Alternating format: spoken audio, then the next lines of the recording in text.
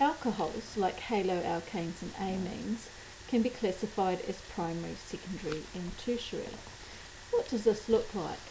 We consider primary alcohols, uh, each primary alcohol has an OH bonded to a C group, for example, if we look at these structures here.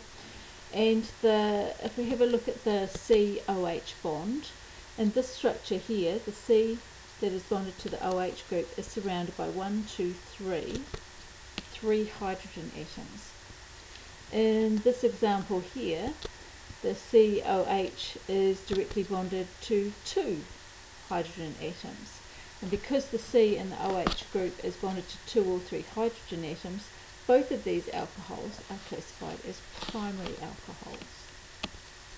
If we consider secondary alcohols, we look at the COH group again and we look to see how many hydrogens uh, that the carbon is attached to and in this case we can see that the, this carbon is attached to just one hydrogen.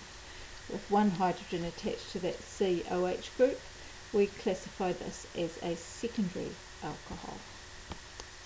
For tertiary alcohols, you might have guessed by now, the COH group is bonded to absolutely no hydrogen atoms at all. So when we have a look at that COH group, you see that carbon is not bonded to any hydrogens directly at all.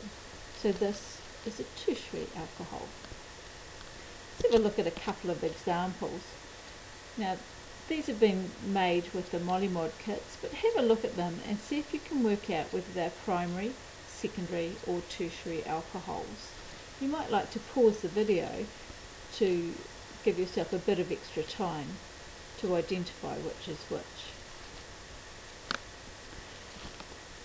Have a look at the answers. Did you get them right?